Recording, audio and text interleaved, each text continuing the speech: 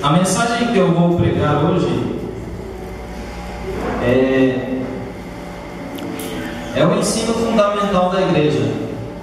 Eu, como membro da igreja, acredito que entre todas as doutrinas, nós temos uma que é a principal, que é a salvação pela graça. Se nós tirarmos a salvação pela graça, você pode jogar o resto fora. E uma coisa que tem me preocupado ultimamente quando eu vou pregar, é que o pregador ele tem uma responsabilidade que às vezes, eu falo às vezes porque hoje eu me critico em relação ao meu passado e já cometi esse erro. Ele não sabe o tamanho da responsabilidade que tem quando vem à frente. Existem muitas pessoas que vão à igreja e elas estão simplesmente despedaçadas. Elas estão totalmente destruídas. Tem aquela fachada assim do sorriso, mas só Deus e ela sabem como está aquele coração. Às vezes nem ela sabe explicar como está se sentindo. As situações da vida levam as pessoas a, a esses pontos de angústia extrema, de desespero, é, situações onde a pessoa não consegue olhar e achar um rumo para a vida dela, as pessoas se sentem totalmente perdidas, desorientadas, e aí elas vêm à igreja. E o que, que elas esperam na igreja? Elas esperam que aqui elas ouçam alguma coisa que além do seu coração. Alguma coisa que sirva para confortar, para fortalecer, para poder orientar. E eu digo que algumas vezes eu já preguei, e lá em casa eu tenho o censo, né? Os novos não sabem o que é censo, os antigos sabem. É, o censo é minha esposa lá em casa, é a Silvânia. E ela diz: Hoje você falou besteira. E eu parei para pensar. Quando fala bem, ela também diz, viu? Quando fala coisa ruim. E, mas teve assim algumas situações em que eu preguei tentando falar, por exemplo, de mordomia. Eu sei que o pastor Valdomiro é um, um estudioso de mordomia, porque ele já pregou na igreja que eu frequentava lá em Brasília, e foi justamente sobre mordomia. E eu tentando falar sobre mordomia, hoje eu entendo que eu falei um monte de besteira lá na frente da igreja. E depois eu fiquei pensando mais recentemente, Aquelas coisas que eu falei, que ela, o que, que ela edifica alguém que chegou na igreja, por exemplo, depois de perder um parente por morte, por exemplo, se ela estivesse na igreja? O que, que ela aproveitaria do que eu falei? Naquela situação específica, em algumas situações específicas, eu acho que aproveitaria muito pouco, ou quase nada. Então, quando a gente vem aqui à frente, a responsabilidade é grande, não importa o tamanho da igreja, isso é o que menos importa. Aqui pode ter pessoas que estão passando por problemas de depressão, perda de queridos, às vezes abandono. E são pessoas que estão aqui na igreja em busca de algo que sirva para confortar e consolar.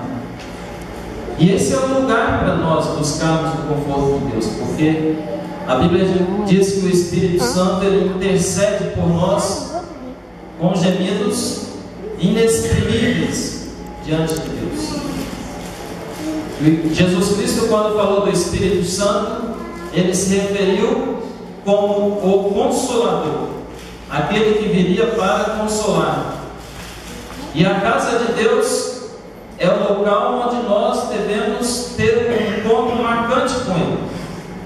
O povo de Israel, quando queria, ou quando tinha seus cultos, eles viam a presença de Deus, era no tabernáculo, onde Deus se manifestava através da massa, do povo, era ali que eles encontravam a Deus. E uma coisa me impressiona na história do povo de Israel, porque a Bíblia diz que Moisés conversava com o Senhor na sua tenda. E diz que os filhos de Israel saíam na porta das suas tendas e ficavam olhando para a tenda de Moisés para ver Moisés conversando com. Então o ser humano quando ele precisa, quando ele necessita, ele sabe que deve buscar aonde? Em Deus. E o ser humano tem esse anseio de ver a Deus. E obviamente nós não vamos aqui ver a Deus pessoalmente, mas o que nós vamos falar aqui, o que vamos fazer, pode demonstrar a presença de Deus ou não. Eu quero convidá-los para abrir a Bíblia no livro de Gênesis, capítulo 6.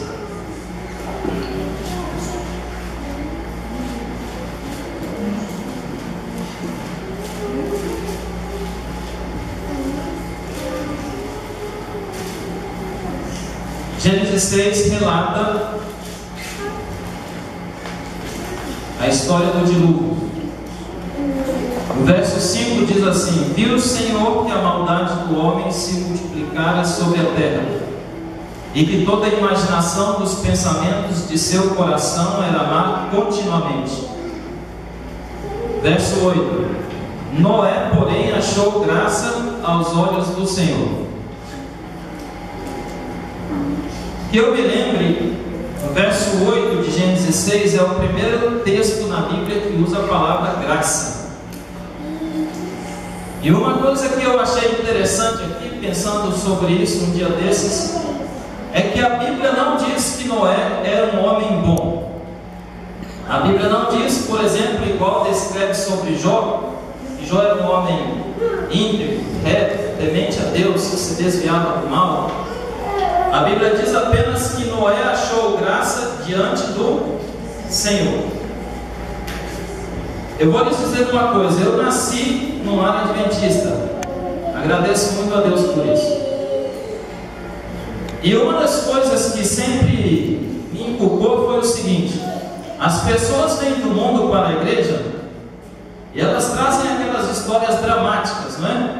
Eu vivi isso, eu fiz aquilo de errado, eu fiz isso, eu fiz aquilo, até que um dia eu encontrei Jesus e mudei totalmente de vida. Vou afastar um pouco aqui, porque esse ar não vai me ajudar. E eu sempre ficava pensando assim, e eu? o que, que aconteceu na minha vida? Porque para essas pessoas é muito marcante o momento da conversão. Mas e eu que nasci na igreja? Tudo que eu sei de religião é o que eu aprendi nessa igreja. Qual foi o momento que eu me converti? E uma das, das coisas que a gente aprende na igreja é que nós devemos sempre fazer a coisa certa. Devemos fazer a coisa certa. E alguns ainda dizem assim para as crianças: Olha, Jesus não gosta de criança desobediente. Então a criança cresce com um certo temor e se ela não for obediente, Jesus não gosta dela. Graças a Deus, a gente vai crescendo. E eu fico pensando hoje, se nós fôssemos falar isso para os adultos, Jesus não gosta de adultos desobedientes. Todos nós aqui acho que temos uma maturidade suficiente para olhar para a nossa vida, a nossa história e chegar à conclusão de que a Bíblia está muito certa quando diz assim que todos pecaram e estão carentes da glória de Deus. Ou como João diz, não há um justo, nenhum sequer. Eu tenho plena consciência que eu sou um pecador. E quanto mais eu tento me desvencilhar dessa condição, mais eu entendo que é impossível. Não tem como. Isso está, como Davi diz, já fui concebido assim, eu nasci pecador. E às vezes eu fico é, hoje eu me preocupo assim com a questão das crianças. Tenho uma filha. E às vezes a gente conversa sobre esse assunto. Algumas crianças não foram informadas de que são pecadores. Logo, elas também não foram informadas de que necessitam da graça de Deus. E cresce com a ideia de que tem que fazer o que é certo, senão Jesus não vai gostar delas. Nós precisamos ter muito cuidado com o que ensinamos às crianças. há muitas pessoas que crescem achando que Jesus não gosta delas, porque ninguém nunca vai conseguir ser 100% obediente, todos somos pecadores. Romanos 5, verso 20. Antes de ler Romanos 5, verso 20, o segundo ponto que eu acho interessante na história do dilúvio é que ali houve um limite para a graça de Deus.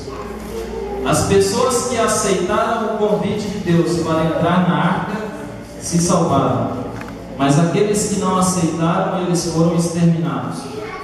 Ali houve um limite para a graça de Deus. E o ponto que eu acho interessante é o seguinte: Noé com sua família dentro daquela arca, aquele tanto de animais lá dentro. Eu não sei se Deus colocou uma invernação para todos eles lá, todo mundo invernar. Né? Se deu comida para todos eles, ou se chamou só os filhotinhos para não dar muito trabalho. Não sei o que, que Deus fez para resolver esse problema. Mas aquela arca, eu imagino que era um lugar que não cheirava muito bem. Os animais um ano ali dentro. Por mais que eles estivessem só enfermando, ou sei lá, alguma coisa assim, aquele ambiente devia ter um cheirinho meio desagradável. Mas era o único lugar onde as pessoas poderiam se salvar. A nossa igreja é uma igreja imperfeita. Isso eu não tenho dúvidas. Nós temos problemas, a começar dos membros mais humildes até os maiores líderes da igreja. Todos são pecadores. E às vezes nos preocupamos em criticar a liderança da igreja como se fosse possível alguém não ser pecador. Então, para chegar à liderança da igreja, nós imaginamos que a pessoa tem que ser perfeita. E um dia desse, conversando com a minha esposa, ela falou assim: Poxa, nós temos um conhecido e eles vivem, a família deles é bem estruturada, mas eles têm um vizinho passando necessidade e não conseguem auxiliar. E o vizinho, na verdade, passa por sérios problemas com o alcoolismo, com a família. Então a gente começou a olhar o pecado do, do vizinho e criticar o, o irmão porque ele não ajudava. Eu disse para ela assim: olha, na verdade são todos pecadores. Um tem um problema que todo mundo sabe, todo mundo vê, que é alcoolismo. Achamos que temos que pagar por tudo que recebemos. Então, por exemplo, uma vez vou usar o pastor Valdomiro como exemplo aqui, viu, pastor? Uma vez a gente estava aqui e precisávamos ir embora. E o meu pai foi lá na casa do pastor Valdomiro e falou: Pastor, você tem como levar o Nelson lá no Mirante? E ele se dispôs imediatamente e nos levou.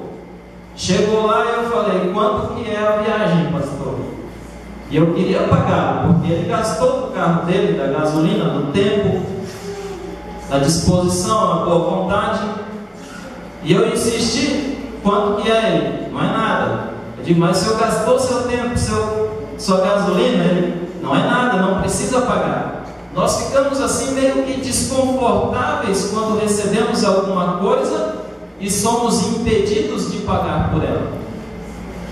E uma dificuldade do ser humano em relação à graça de Deus é exatamente isso.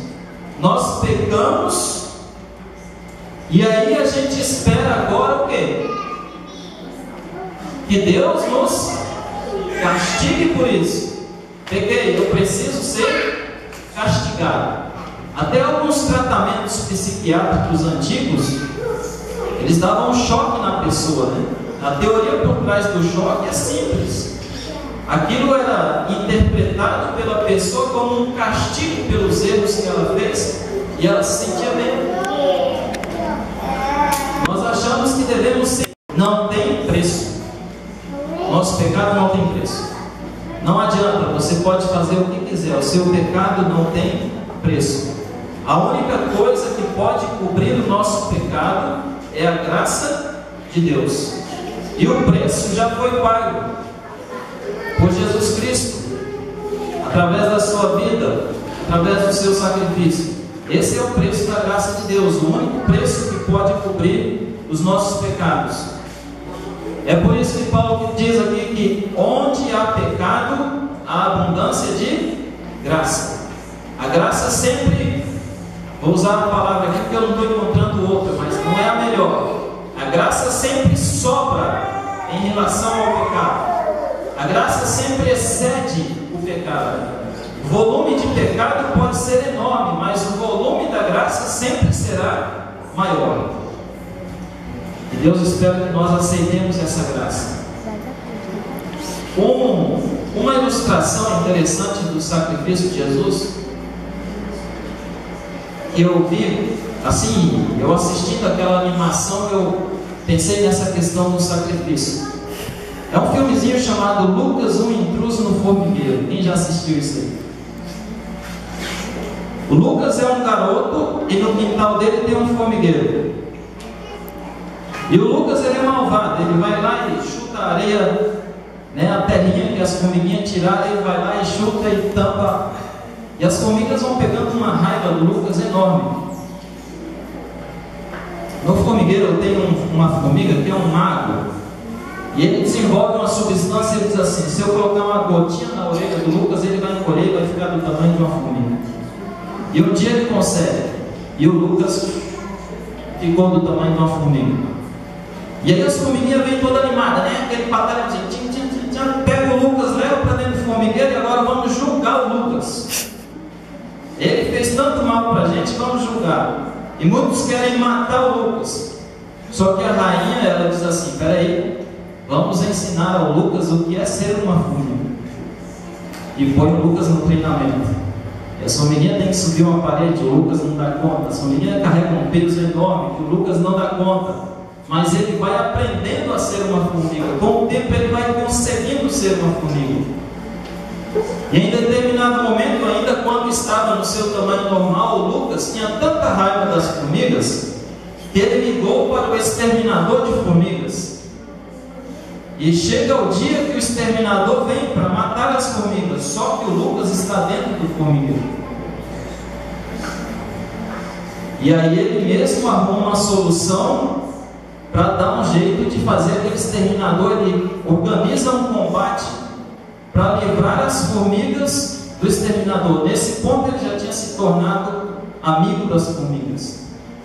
Quando ele consegue, eles conseguem expulsar o exterminador, aí a formiga diz assim: agora o Lucas já pode voltar para o seu tamanho normal. Ele já sabe que é ser uma formiga.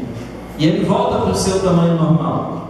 E a partir desse ponto da vida dele, as formiguinhas dizem, olha, não esquece da gente.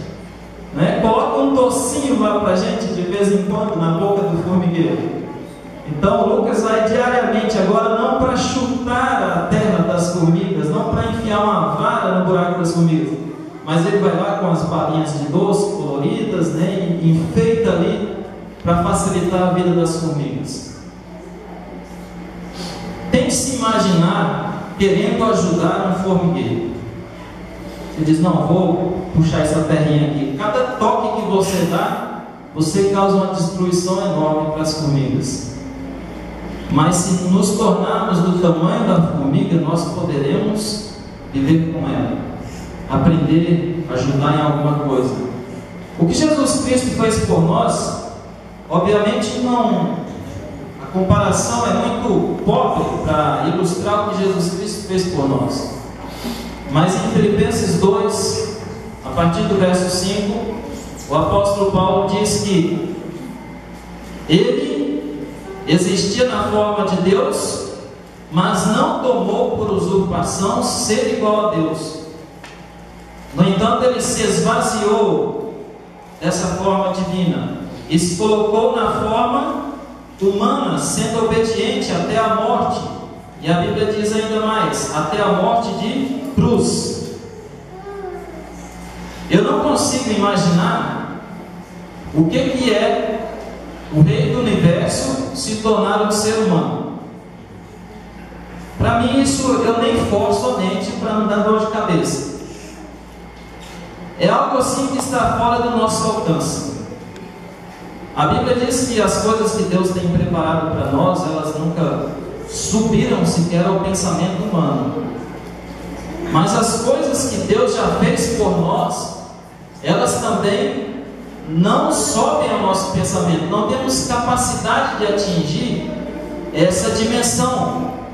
O que é um Deus todo-poderoso, cheio de brilho, de glória, se fazer humano, nascer como um bebê, se esvaziar da sua forma divina, ser obediente até a morte.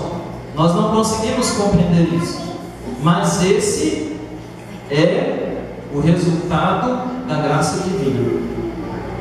Se nós pudéssemos resumir o que é graça em uma palavra, eu diria que graça é misericórdia, ou talvez graça é perdão, graça é amor. Isso é a graça de Deus. É nos dar aquilo que não merecemos em momento algum. E um ponto que eu acho interessante, Isaías 53, verso 11, diz que quando Jesus voltar a esse mundo, ele verá o fruto do penoso trabalho da sua alma e ficará satisfeito. Vou tentar ilustrar o que é ficar satisfeito. O rapaz está tentando conquistar a moça. Ou a moça, o rapaz, né? Vendo que tem mais moça do que rapaz aqui.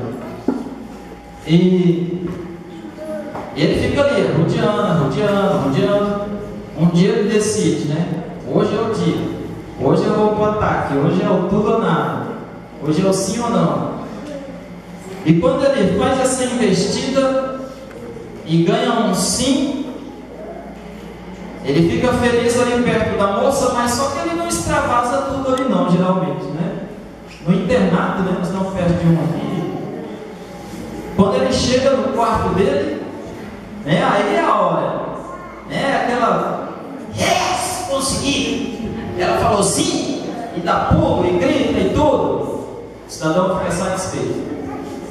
Existem outras situações onde nós conseguimos alguma conquista e depois que a gente consegue o objetivo, a gente está andando na rua sozinho. Né? Seus pensamentos estão ali processando, né? a mil por hora. E você está andando e está assim, né?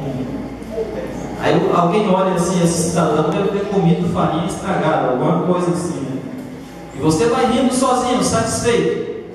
A satisfação por algum objetivo alcançado ela é uma coisa assim que não tem preço. Às vezes a gente conquista algo e as pessoas chegam assim, um objeto, né, alguma coisa que a gente deseja conquistar ou fazer, e alguém chega assim e diz: Por quanto você me vende isso? Aí você diz assim: Não tem preço. Não tem preço. Quando nós temos a satisfação por alguma coisa que conseguimos fazer, isso não tem preço. Esse sentimento de alegria, de realização, de conquista, é algo que não se pode precificar, colocar preço, dizer quanto vale em dinheiro, porque não são duas coisas que não se comparam. E eu imagino Jesus Cristo no céu, olhando assim para o meu rosto sorrindo. Você já parou para pensar nisso? Jesus Cristo olhando para o fruto do penoso trabalho da sua alma, que sou eu e você, e sorrindo. Ou você acha que Jesus vai te receber assim, ô Lisa, você me deu trabalho pra caramba, hein? Tive que colocar três anjos lá, tinha hora, porque você estava demais. Vai ter que trabalhar muito aqui no céu. Não, isso aí a Bíblia diz que são coisas passadas. É vida nova. Jesus Cristo vai olhar para o nosso rosto e vai sorrir, satisfeito com o resultado do trabalho da sua alma. E considerando que a Bíblia diz que a multidão dos salvos é como a areia do mar, eu fico imaginando que Jesus vai sorrir muito no céu. Aí Jesus vai olhar para um para outro, para outro, para outro e vai sorrir. Essa é a graça de Deus. esse será o resultado da graça de Deus. Sabe, a graça de Deus é isso: é nos salvar e ainda ficar feliz por ter nos salvado. É ter se sacrificado e ainda se sentir realizado, mesmo tendo passado pela morte. Se sentir realizado, se sentir satisfeito com o resultado do seu penoso trabalho. Quero terminar com a passagem de 2 Coríntios 5,19. Nesse texto, o apóstolo Paulo diz que Deus estava em Cristo reconciliando consigo o mundo. Existe uma forma de nos reconciliarmos com Deus. O único caminho para nos reconciliarmos com Deus é através de quem? Jesus Cristo. E há um outro texto que diz que nós temos um intercessor no céu, junto ao Pai. Esse intercessor é quem? Jesus Cristo, homem. O apóstolo Paulo diz: Jesus Cristo, homem. O nosso Salvador não é o Jesus Cristo na forma de Deus. O nosso Salvador é o Jesus Cristo na forma de homem. É a morte dele, a ressurreição dele, que permite a nossa salvação. Ele já existia como Deus antes disso.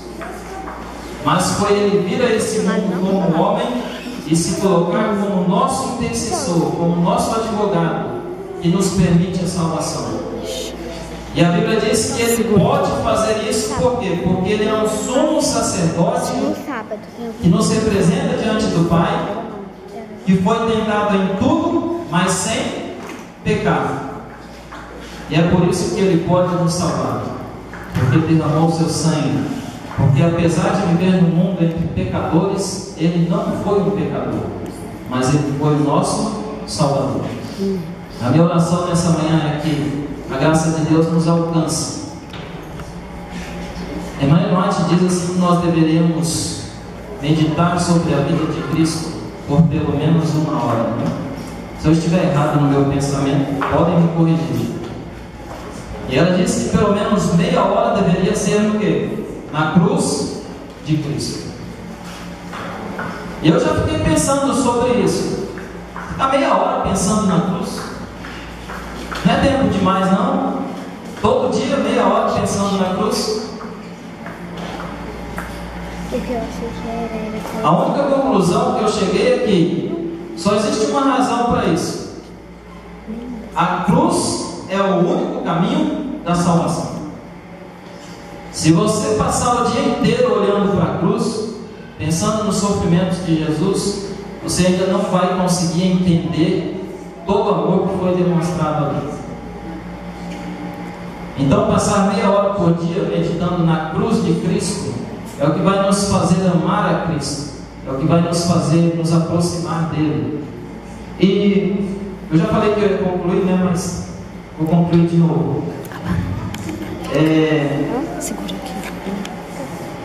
a gente ouve expressões assim na igreja, se entrega a Jesus. Já parou para pensar o que significa isso na prática? Se entrega a Jesus? Aí as pessoas falam assim: não, coloca teus problemas na mão de Jesus. Aí como que coloca os problemas na mão de Jesus? A teoria é um discurso lindo e maravilhoso, mas na prática, como que faz isso? Existem alguns textos bíblicos que nos ajudam a entender um pouco sobre como se faz isso. Quando Jesus conta sobre como será o dia da sua vinda, ele diz assim para os infiéis: Não vos conheço. Ele diz assim: Conhecereis a verdade, eu sou a verdade. Jesus disse. Jeremias, há um texto aí da lição dessa semana. Aquele que se gloriar, glorie-se nisto em mim, conhecer. E nós só podemos conhecer a Jesus lendo a sua palavra, meditando no seu sacrifício, é a única forma de conhecer a Jesus. E eu entendo que a forma de nos entregarmos a Jesus é conhecer. Ninguém casa, pelo menos eu não conheço ninguém. Já houve esse tempo, né? Mas assim, ninguém casa de sã consciência e por boa vontade se entregando a uma pessoa completamente desconhecida. Quando chega ao ponto de se casar, pelo menos na nossa sociedade, as pessoas já se conheceram antes, já gostam um do outro, já conhecem um pouco um do outro. E chega o dia que um diz para o outro sim, e esse sim significa: olha, eu estou me entregando a você. A partir de hoje você é meu e eu sou seu. E é assim, tanto que Deus compara o relacionamento entre Ele e a sua igreja a um casamento. Se pensarmos que a igreja somos nós, as pessoas, para chegar a esse casamento nós precisamos antes conhecer, nos relacionar. E aí sim, quando a gente conhece, a gente se aprofunda nesse conhecimento de Deus, nós vamos conseguir nos entregar a Jesus. Então que a graça de Deus possa nos alcançar que nos entregamos completamente a esse Deus através do conhecimento do seu amor, da sua palavra, da sua bondade, porque a Bíblia diz que ele já nos amou primeiro, para que nós possamos amar. Amém. Amém.